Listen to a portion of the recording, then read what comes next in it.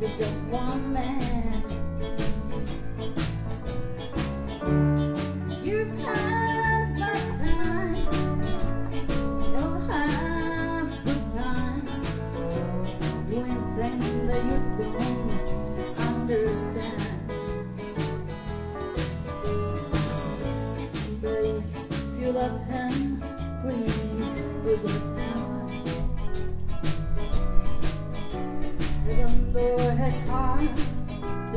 understand.